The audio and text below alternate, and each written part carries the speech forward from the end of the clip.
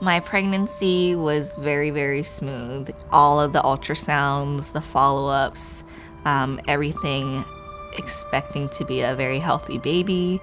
From the moment we got into the hospital, we were both very excited. You know, I had just rushed from work to get in there. She was already there, set up. You know, they had started inducing her. She was happy taking selfies and, you know, just being really cheerful. And yeah, I mean, it was an exciting um, mood.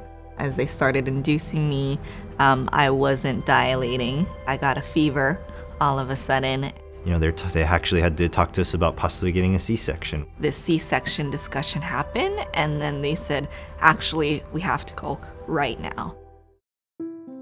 When we go to these C-sections, it's usually because the baby inside the mom is having difficulty and the OBs were worried about it.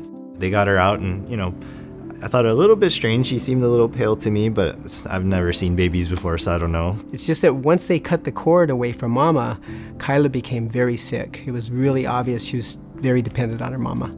I mean, he brought Kaila to me and said, oh, you know, he wouldn't let me hold her or anything like that, but it sounded like, look, we have to, you kiss her and we have to go.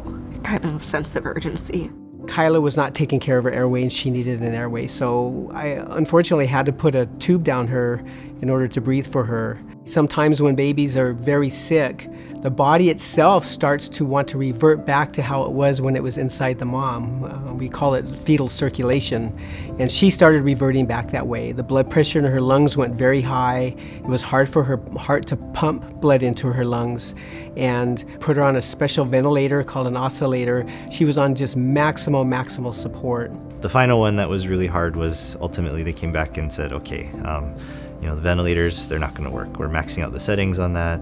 Um, we'll, we'll need to try something else, uh, something called ECMO. There was really no choice, you know, it was, these are all the risks, but if not, she's not going to make it. This is the last chance for her survival. Robert actually called us and he said that um, despite all the things they were doing for her, her lungs were continuing to worsen, and so they needed to uh, meet with them to talk about the possibility of having to put her on pulmonary bypass. It, it's called ECMO, stands for extracorporeal membrane oxygenation. And I think the next thing I felt was relief because these people know what they're doing. I work with them on a day to day basis, and I, I trust them with her. Kaila had meconium aspiration and had a little bit of a difficult delivery, and she was put on ECMO, and she did amazingly well. The day that she was coming off of ECMO, I was so excited. One of the exciting moments, um, you know, in the whole process of weaning her off from the ECMO was um, witnessing her first actual breath. As an expecting parent, you're excited to take all these, you know, videos and pictures. Um, I didn't expect to be taking a video of her first breath.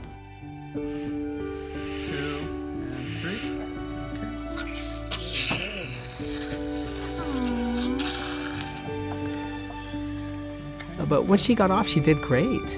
Um, it was like clockwork after that. We thought she was going to go home on oxygen, and Kaila proved us wrong again. She went home on room air.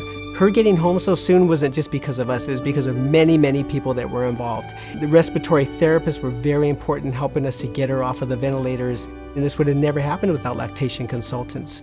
So human milk we know is the best thing for our babies, but in the NICU, human milk is even more important. It's almost like a medicine for them. Overall, it's a real comprehensive teamwork of not just medical, but your emotional, spiritual, and they have built an amazing foundation for every family to succeed.